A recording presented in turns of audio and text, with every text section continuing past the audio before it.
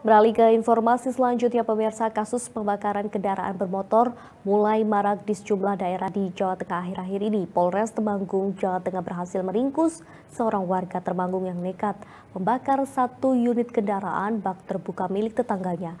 Atas perbuatannya, kini tersangka diamankan di Mapolres Temanggung. Jajaran Satreskrim Polres Temanggung dibantu tim Jatan Ras. Polda Jateng berhasil meringkus tersangka YS warga desa Kuadungan, Jurang, Kecamatan Kledung, Temanggung. Diduga tersangka membakar satu unit mobil bak terbuka milik tetangganya bernama Surahman. Akibat pembakaran ini, beberapa bagian mobil hangus terbakar.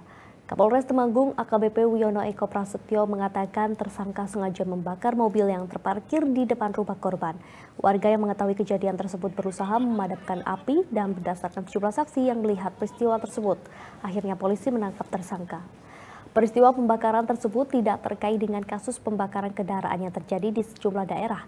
Pengakuan tersangka, ia sakit hati kepada korban yang akan mengontrakkan gudang yang selama ini ia tempati. Polisi mengamankan beberapa barang bukti di antaranya adalah satu unit mobil pickup, jerigen, korek api serta pakaian korban. Kini tersangka harus mendekam di sel tahanan Mapolres Temanggung dan dijerat pasal 187 KUHP tentang pembakaran dengan ancaman hukuman penjara maksimal 12 tahun.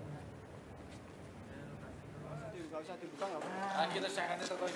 kejadian lagi pembakaran. Pada saat itu korban sedang mau tidur. Istrinya mencium bau seperti bensin atau pertalite, seperti karet yang kebakar, kemudian keluar rumah, dilihat mobil pickup milik mereka yang diparkir di depan rumah di dekatnya e, pasir tumpuan pasir itu terbakar bagian depan pintu kiri sebelah kiri terbakar dan bannya juga terbakar. Pak punya pikiran mau bakar mobilnya korban ini gimana? Sakit hati pak. Lagi saya bakar ban mobilnya itu. Sakit hatinya kenapa mas?